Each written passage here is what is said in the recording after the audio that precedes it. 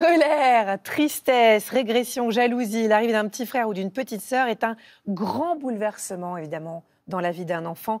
Que faire pendant la grossesse pour aider l'aîné à mieux accepter cet événement? Comment réagir face à une jalousie euh, qui s'exprime ou qui se devine à la naissance? On va en parler tout de suite avec nos invités. Aurélie Calais, bonjour Aurélie. Bonjour. Qu'est-ce qu'on est content de vous avoir sur euh, le plateau de la Maison des Maternelles? Je rappelle pour euh, tous les téléspectateurs qui ne vous connaissent pas que vous êtes psychologue, clinicienne et cofondatrice de Kids et Family. Family. Vous allez nous conseiller pour passer au mieux cette étape, parce que parfois ça peut devenir un petit peu extrême. Je l'ai vécu moi-même et on a bien besoin d'avoir des conseils. À vos côtés, Alice. Bonjour Alice. Bonjour. On est aussi très très heureux de vous avoir dans la maison des maternelles. Vous êtes la maman d'Elia qui a 5 ans et Liana qui a 3 mois. Et depuis que la petite dernière est arrivée, on peut dire qu'Elia est devenue très opposante et vous ne savez plus trop quoi faire. Euh, à partir de quand est-ce qu'il a changé le comportement d'Elia? Euh, Surtout euh, à partir du fin du huitième mois, début de, du neuvième mois de grossesse. Euh, là, ça a été euh, très compliqué. Très, très Alors je précise que vous avez un grand qui s'appelle Oui. Kylian et qui a 12 ans. Oui. Est-ce qu'il y avait eu déjà des problèmes à l'arrivée de la deuxième? Est-ce que Kylian, lui, avait un peu râlé ou pas? Pas pendant la grossesse. Après, euh, il y a eu un, passage où il a ignoré complètement sa petite sœur pendant quelques Mais c'était pas aussi. C'était pas. il n'était pas autant en opposition. Alors Elia, elle, semblait plutôt contente en plus d'avoir une petite Oui. sœur. L'annonce s'était plutôt bien passée? Oui, oui, oui. oui. Euh, J'étais enceinte à peu près de, de deux mois. Elle était très contente. euh, D'ailleurs, elle a dit euh, qu'elle souhaitait vraiment une petite sœur. Donc, c'était. voilà. Et voilà, l'annonce était très bien passée. Alors Aurélie Calais, qu'est-ce qui se passe dans la tête d'un enfant qui apprend l'arrivée prochaine d'un petit frère ou d'une petite sœur? En fait, souvent, ce qui peut se passer, c'est qu'ils peuvent être un petit peu inquiets en se disant est-ce que ça va changer quelque chose pour moi? Qu'est-ce qui va se passer? Les inquiétudes, elles commencent souvent quand le ventre de la maman commence un peu à s'arrondir. Euh, et puis, quand ils sont très rapprochés en âge, il y en a qui peuvent se dire, pas forcément de manière hyper consciente, mais est-ce que je suis pas assez bien? Pourquoi ils ont besoin de me remplacer aussi vite? Et euh, du coup, quand ils sont un peu inquiets, ce qu'ils vont faire, c'est que comme ils sont tout petits, ils vont pas savoir se faire, euh, enfin un peu comme ce qui se passe avec Elia. En fait, elle peut pas se dire, je veux attirer l'attention sur moi. Du coup, je vais être euh, hyper obéissante, je vais me comporter super. Ça va être forcément en mode euh, bêtise, Mm. provocation. Enfin voilà. Et du coup, tout ce temps, mine de rien, où ils se font gronder, ils se font disputer. Et ben tout ce temps-là, c'est du temps où on fait le focus sur eux, où on s'occupe pas du bébé. Et ils ont une espèce d'interrupteur sur maman et papa, euh, jour-nuit, jour-nuit, et systématiquement, ça marche. faut pas la réduire, cette souffrance. C'est une vraie souffrance hein, euh, chez, chez l'aîné. Ah, il y en a pour qui ça peut être effectivement euh, vraiment hyper euh, L'anecdote qu'on adore avec euh, Marie, de la deuxième femme. c'est dans ce qui, oui, voilà, qui passe sur les réseaux. Bah, racontez-la, vous allez le faire mieux que moi, euh, Aurélie. Mais en fait, c'est comme si on disait, bah, comme si vous, votre mari, vous disiez, euh, Agathe, j'ai une top nouvelle.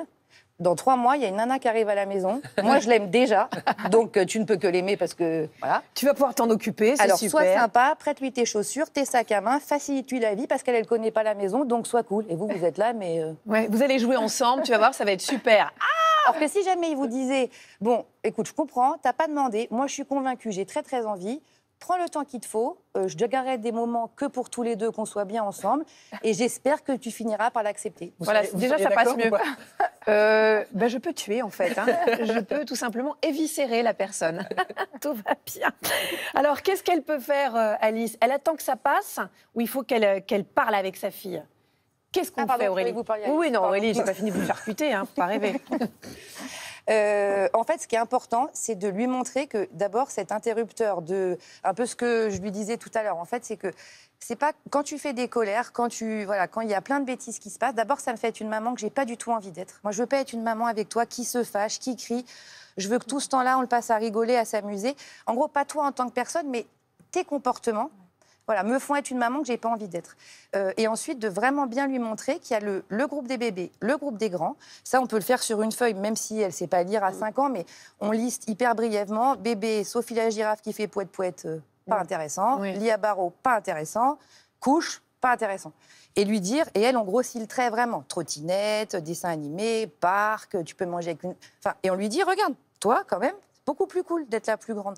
Parce qu'en fait, souvent, on a tendance à dire aux, aux aînés, euh, comme tu es le plus grand, prête-lui, toi tu peux comprendre, laisse tomber, elle est petite, fais pas trop de bruit, dors. À la fin, Ouais, ils disent, mais, je m'entends. mais à la fin, ils disent, c'est une arnaque. En fait, je n'ai Ouais. que des contraintes dans leur truc. Oui, c'est ça. Moi, j'arrête pas de dire euh, ça. Allez, tu peux prêter à Félix, c'est le grand, soit Mathieu. hein. Enfin. Mais si à côté vous dites c'est trop bien d'être grand et qu'on lui prouve, ça va. Ouais, c'est ça. Aurélie, on a reçu une question pour vous en vidéo de Flora. Regardez. Bonjour la maison des maternelles. Je suis maman de deux enfants, Zoé, deux ans et demi, et Léo, trois semaines. Je viens vers vous car depuis l'arrivée de mon fils, ma fille a changé de comportement, notamment au sujet de la propreté. Elle se remet à faire pipi au lit, pipi sur elle, et a perdu un petit peu en autonomie. Donc voilà, je voulais savoir comment faire face à cette régression. Je vous remercie et vous souhaite une très bonne journée. Continuez comme ça, je vous adore. Au revoir. Est-ce que c'est pas un classique, ça? C'est hyper classique. Ouais. Mais ce qui est hyper classique aussi, c'est que souvent les parents sont hyper perturbés par ça, donc sont extrêmement inquiets, en parlent pendant hyper longtemps, raccompagnent aux toilettes. Or que si dès le premier instant où l'enfant fait ça, vous dites Oh là là, t'étais propre apparemment, tu veux remettre des couches de bébé? Pas de problème, on va les acheter tout de suite. dédramatiser tout de suite Non, mais en gros, ce truc d'interrupteur, faut vraiment l'avoir Ouais. en tête. Si elle voit que vous lui remettez la couche, qu'on va limite au supermarché les acheter tout de suite, ah, tu veux les couches? Nous, on n'a pas de couche avec papa, t'en avais pas, t'en veux une? Pas de problème, on y va. Elle va se dire, ok, ça marche pas. Et a priori, ça va pas durer. Bon. Vous avez préparé un petit peu Elia, vous, pendant la grossesse? Oui. Comment est-ce que vous y êtes Oui. prise? Alors, euh, je lui faisais toucher mon ventre. euh, elle, euh, elle aimait bien. Elle faisait des câlins à sa petite sœur le soir avant d'aller au lit. On lui a fait choisir un doudou qu'elle lui donnerait à la naissance et qu'elle a toujours d'ailleurs. A priori, ça se passait bien. On s'attendait à ce qu'il y ait de la jalousie, mais pas, pas à ce point. Alors, on dur, a hein. reçu à l'instant une question sur Facebook de Gustine, question euh, compliquée. J'ai peur que mon aîné se sente délaissé à l'arrivée des jumeaux et en devienne jaloux. Nous avons pris rendez-vous pour faire de l'autonomie en famille. Est-ce une bonne idée? Y a-t-il d'autres choses à faire? C'est sûr, quand ce sont en plus des jumeaux qui arrivent pour l'aîné, c'est Double peine. Ouais. Mm, mm. Bah, ce qui est pas mal, c'est que un des deux parents arrive à garder des moments privilégiés avec l'aîné tout seul, le sortir un peu de la maison. Alors, je sais pas, il a quel âge l'aîné? On sait pas? Euh, 22 ans. euh, mais oui, garder des moments pour l'aîné. Et après, euh, ils veulent emmener l'aîné au cours d'autonomie, Ouais. c'est ça? en famille, autonomie en famille. Ok. Je pense que si l'aîné est demandeur, c'est bien, Mm. s'il a envie d'y aller.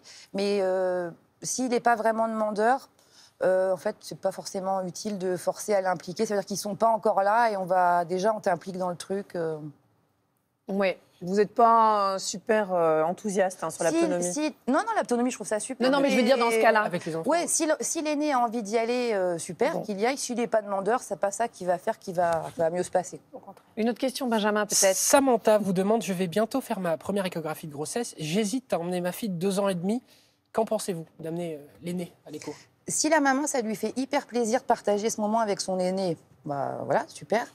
En revanche, si les parents l'emmènent en se disant il va se rendre compte, c'est une prise de conscience. Enfin, honnêtement, même nous, la première écho, on comprend pas grand-chose en tant qu'adulte déjà. Mais c'est un examen médical dans l'échographie. Je sais que des médecins Ouais. ici nous ont déjà dit Moi, j'aime pas trop que des enfants. Oui, les On échographes. peut annoncer des pas. mauvaises nouvelles, Ouais, ouais, enfin bien ça sûr. peut être... euh, Ouais, et puis honnêtement, c'est hyper abstrait, ils comprennent pas Ouais. forcément ce qui se passe. Et puis ça veut dire qu'il est même pas encore là. On t'emmène, ça prend déjà de la place. euh, si l'enfant a hyper envie des parents, pas de problème. Mais si on se dit que c'est mieux, je pense que c'est pas utile. Alors, nous avons rencontré Marine qui vient de mettre au monde une petite fille qui s'appelle Mila. Pour faciliter la première rencontre avec son grand frère, la maternité des émailleurs de Limoges propose à la famille un séjour un tout petit peu particulier en chambre familiale. Découverte de ce nouveau concept dans ce reportage de Mathieu Abasque. Qu'est-ce qu'il y a, 20 heures après sa naissance, Mila s'apprête à vivre une première journée intense en compagnie de celui qui va devenir un élément fondamental de sa vie, son grand frère Tilio. Bonjour Mila. Tu dors bien profondément. hein je vais t'embêter un petit peu, je vais te prendre. Ouais. Je vais te mettre dans le bain. Attentif, Tilio ne quitte pas Mila des yeux. Afin de favoriser le lien fraternel, tout est fait ici pour l'associer aux soins de sa petite sœur. Voilà. Voilà, t'es trop belle. C'est fini, Mila. Ouais, depuis qu'on lui avait annoncé la grossesse, euh, il attendait vraiment euh, le jour J. hein. C'était long pour lui d'attendre. Nos craintes, c'était surtout ben, qu'il soit jaloux, qu'il ressente ce sentiment de d'abandon. Hein. Et bien au contraire, grand frère au top, il s'est jeté sur elle, des bisous, des câlins. Il la lâche plus. Ouais. Bonjour messieurs, dames. Bonjour. Pour éviter cette jalousie, la maternité propose des chambres familiales où parents et enfants peuvent vivre et dormir le temps de l'hospitalisation de la maman. On s'apercevait bien quand même que des gens, il y avait un enfant comme euh, ce petit, là, de 3 ou 4 ans, on les entendait pleurer le soir en repartant, ils avaient quand même des difficultés de faire garder les enfants la nuit, et puis des mamans qui, on peut le dire, avaient le cœur déchiré de savoir cet enfant qui partait comme ça. Donc je pense que pour créer le lien, vraiment la vraie famille, elle commence par ce concept. Tu vas lui donner son biberon Tu veux lui donner? Alors comme ça. Tout à l'heure. Comme ça Voilà. Et là, regarde. Hop, regarde, elle ouvre la bouche. C'est ça, c'est bon, c'est bon. T'es un super grand frère, toi, quand même. Hein, Loulou? C'est des petits moments euh, qui sont peut-être, entre guillemets, pas très importants, mais pour moi, c'est très important de, de- de commencer à, à créer des moments tous ensemble. Tous les quatre, créer des liens, des affinités, et surtout entre Tilio et Mila. Ça permet que chacun retrouve ses repères avec le bébé, que chacun euh, ait sa place euh, avec Mila. Et, euh, et puis voilà, enfin, c'est vraiment un tout. Cette chambre, c'est pas que le- une chambre pour dormir. Toute la famille passe ensuite à table pour le premier repas à quatre, comme une répétition générale avant de quitter la maternité. Ça y est, on s'est habitué à tous les quatre à vivre ensemble dès, dès, enfin, dès qu'elle est arrivée, dès hier soir. Donc, euh, du coup, ouais, je pense que ça- le retour à la maison sera beaucoup plus facile. C'est bon? On va déplier le, le lit. Tu les mets sur le banc, on les rangera tout à l'heure. Oui, ça y est.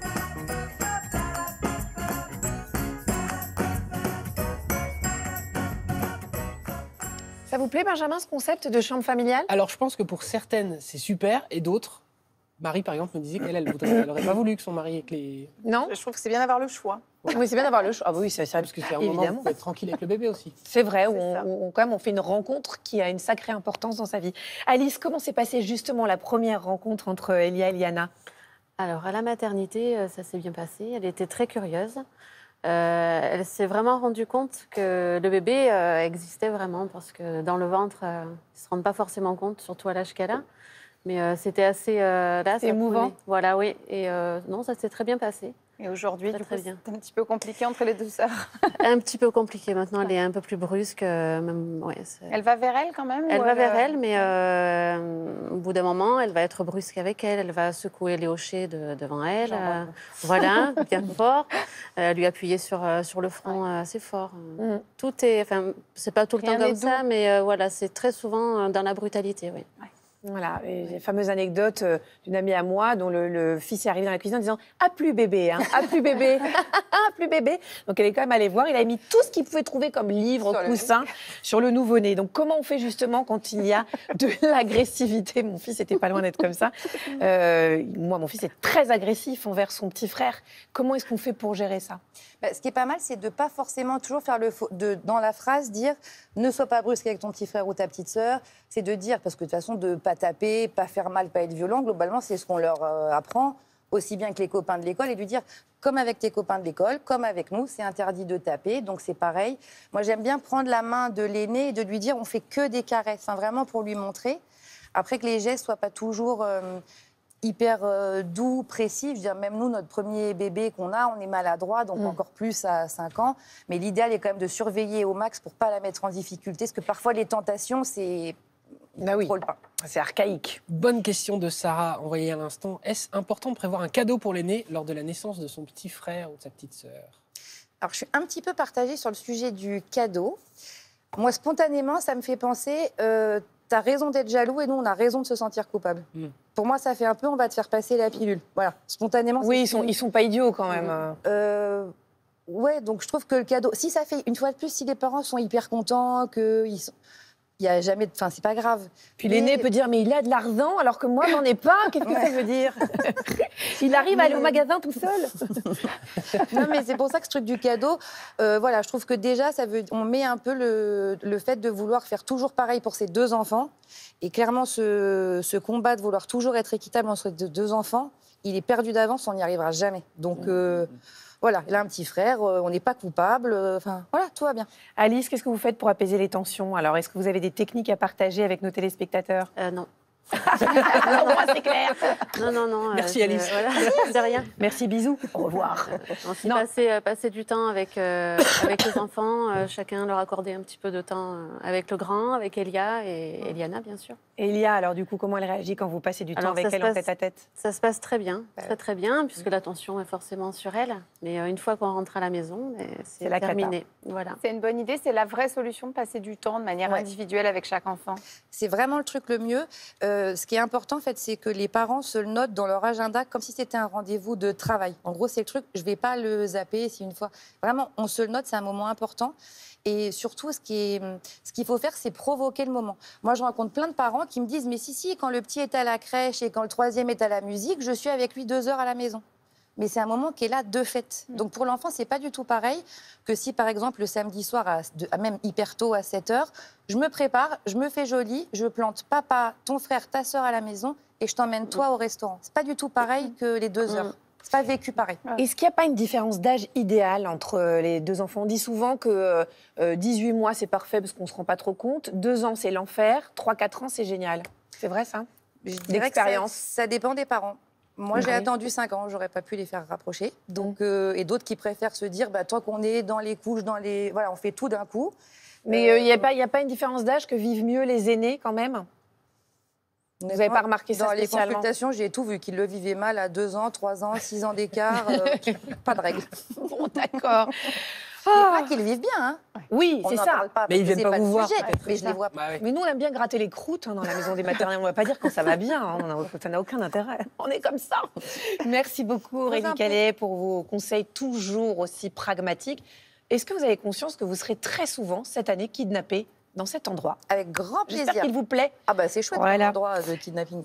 Merci, Alice, d'avoir participé à cette émission. Vous allez voir, ça va passer. Hein, Il y a un moment, ça passe, Aurélie. Ouais, et puis ça- dire. elle est trop mignonne sa fille et je suis sûre que ça va. Oui, oh bah, oui, ça de toute façon, euh, à 35 ans. hein, et ce- Ce sera- vous allez même regretter ces moments-là. Oui. Oui, ça moi, je pense. Ok, si vous le dites.